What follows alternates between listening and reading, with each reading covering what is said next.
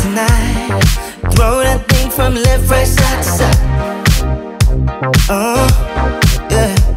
All my friends are here. Play my favorite song right, right on top. Yeah. And we never stop. Music bumping, we just keep on rolling.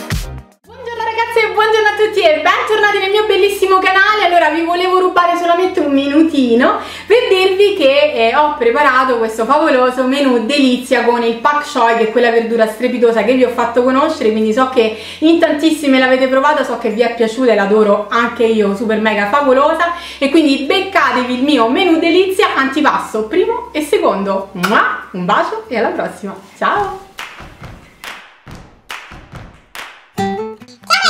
Chiamo Pak Choi e sono una piccola verdurina molto carina e molto economica tra l'altro. Vado semplicemente tagliato a metà, così come state vedendo, e poi vado schiaffato in forno, in forno, in forno in realtà, con olio, sale e pepe, così come state vedendo dalla bravissima Anto. E ci vediamo dopo con le ricettine.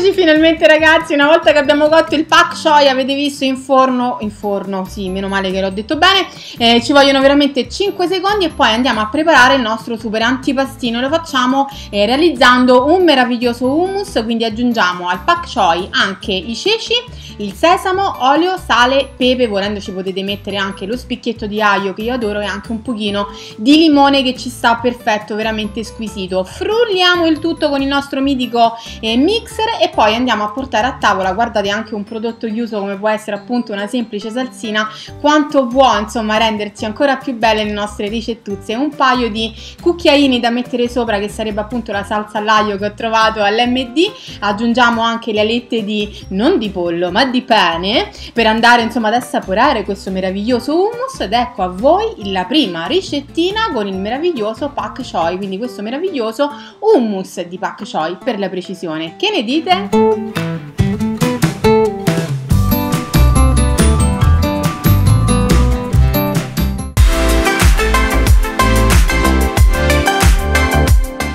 Eccoci, proseguiamo per il primo. Madonna, oggi non ho più le parole, proseguiamo per il primo. Che significa? Proseguiamo con il primo. Allora, andiamo, una volta che abbiamo cotto il nostro mitico pak choi, lo andiamo a spellare, diciamo così, insomma, mm, spezzettare, un po' come si fa con i peperoni una volta che li abbiamo arrostiti, perché è meglio realizzare delle piccole striscioline sottili sottili proprio per rendere il tutto più gustoso. Quindi li andiamo appunto a sfilettare, ecco il termine giusto, in questa maniera aggiungiamo anche i favolosi germogli di cui avevo parlato in un precedente video, sempre che eh, sempre germogli che ho trovato all'MD, li uniamo all'interno insomma della padella e poi mettiamo ovviamente anche un pochino di olio l'olio e ovviamente anche il sale, non tantissimo perché essendo questa una ricettina orientale, quindi insomma è meglio non eccedere con il sale anche perché poi andremo ad aggiungere ovviamente la salsa di soia. Allora, mettiamo anche a cuocere ovviamente i meravigliosi che adoro, i soba eh, che ho acquistato eh, alla Lidl e vedete ecco mettiamo un po' tutto all'interno della padella, facciamo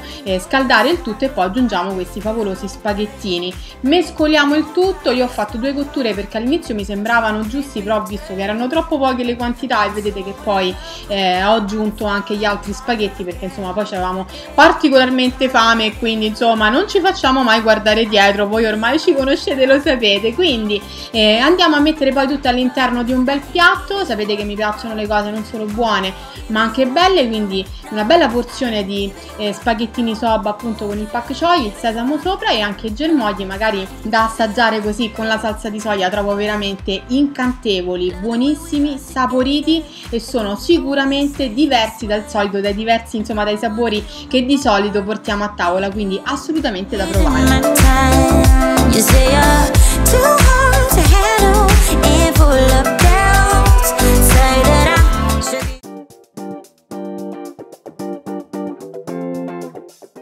Eccoci qui, quindi proseguiamo con il secondo favoloso, che poi in realtà ragazzi questo secondo può funzionare anche come piatto unico, perché vedrete insomma che è bello, eh, insomma ricco, ricco di sapori. Allora di nuovo il pak choi, in questo caso lo lasciamo così crudo, avete visto che è anche spellato, insomma spelato, dice spelato no, pelato le patate eh, e quindi vado anche a eh, sfogliare il pak choi in questa maniera. Mettiamo le patatine all'interno della padella, vi accorgerete ragazzi che proprio tutte le ricette sono facili, questa lo è ancora di più, quindi mettiamo le patate, le olivette, un pochino di peperoncino, io ho aggiunto due latte di pomodoro perché mi piaceva bello corposo, bello saporito, bello sugoso, quindi facciamo due latte di pomodoro e due latte ovviamente di acqua in modo tale da rendere il tutto più liquido per poter cuocere ovviamente anche le patate.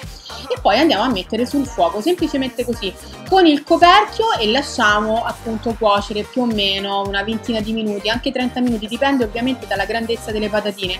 Più piccole sono e meno impiegherete ovviamente a cuocere. E una volta che abbiamo visto insomma che le patatine si sono cotte, magari facciamo la prova a stecchino, andiamo ad aggiungere anche le varie foglie che abbiamo appunto eh, tolto del pak choi, le mettiamo dentro, ricopriamo e vedete questo qui deve essere il risultato, quindi devono ammorbidirsi un po' come funziona con la bieta, con la cicoria e ovviamente le patatine devono essere super cotte, mi raccomando, bello denso il sugo, vedete guardate, guardate proprio veramente una sciccheria questa ricettina perché è facile facile, veramente super buona buonissima poi andiamo a metterla all'interno del piatto e sapete anche qui mi piace un sacco insomma portarlo in una certa maniera. Quindi vado ad aggiungere le patatine le varie fogliette cotte di pak choi e poi aggiungo in ultimo anche le olivette e un pochino di sesamo. Il prezzemolo a crudo perché ragazzi non ci sta mai male e guardate un po' che menù super favoloso buonissimo saporito che veramente si prepara in 5 minuti con una verdura che fino a qualche giorno fa non conoscevamo. Quindi evviva le verdure verdurine nuove, insomma, che ci portano tanto sapore e che ci fanno piacere, insomma, tutte le ricettine particolari, perché no? E niente ragazzi, io vi lascio le ultime immagini, vi mando un bacione grande grande e come al solito, eh, eh, ci vediamo alla prossima, come al solito, ciao!